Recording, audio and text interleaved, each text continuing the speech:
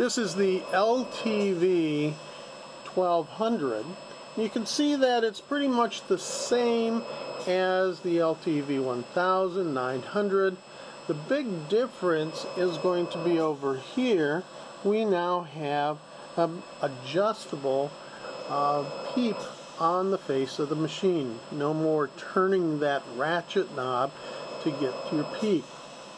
So it's simply press and turn to the amount you want and press again or simply wait for it to run out of the time and reset itself.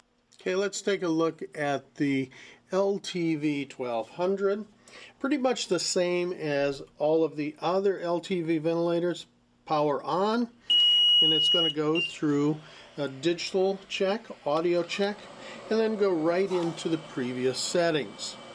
Okay, so we have a volume mode, assist control, rate of 10, 550, and story time 1.2.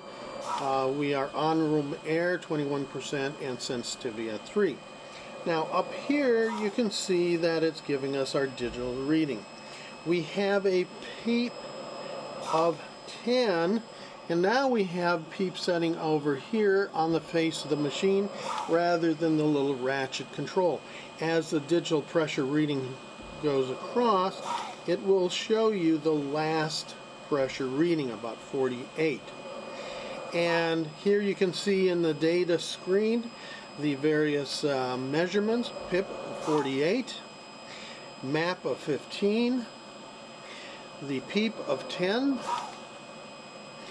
uh, frequency of 10, uh, exhale tidal volume 530, uh, minute volume 5.3, IDE 1 to 4, and uh, V dot count is flow rate. Okay, now to make any changes, you simply press the button under each of the elements that you want to change. But notice only the brightly lit elements are those that are functioning in the mode we're on. So rate, volume, I time, FiO2 sensitivity. So these other ones we can change, but they have no effect until you go into a different mode.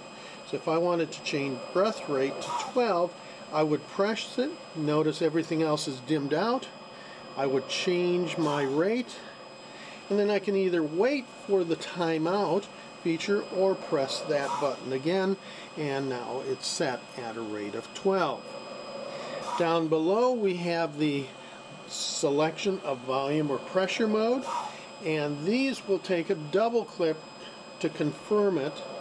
One, see it's flashing, hasn't changed, and two, now it's in a pressure mode.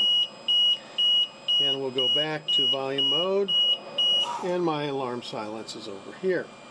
Same thing with going to your assist control to SIMV and then down on the bottom you have your inspiratory hold. Okay, so we're going to press that. It's flashing. Now hold it in for the next breath. In-story hold. 46 was the inspiratory hold and if I wanted to do an extra hold I would hit it a second time. Now I can hold it. I have an extra hold pressure of 9 which is just a bit less than my PEEP. Manual breath allows me to give a patient an extra breath here. Um, check my low O2 source. Check that. Um, and then I can also lock this out, especially in transport. This is helpful so you don't accidentally grab the machine and inadvertently change a setting. This causes it to lock out. Now you see the green light is locked out. Now, when the green light is on, I cannot do any changes and it tells me it's locked. Little safety feature, easy to get out of. Our alarm conditions, our alarm settings, high pressure, low pressure, low minute volume, vent in op, silence, and reset. And then, as I said, we now have a digital peep on the face of the machine. So you'd make all your changes down here rather than grabbing that ratchet peep knob. Okay.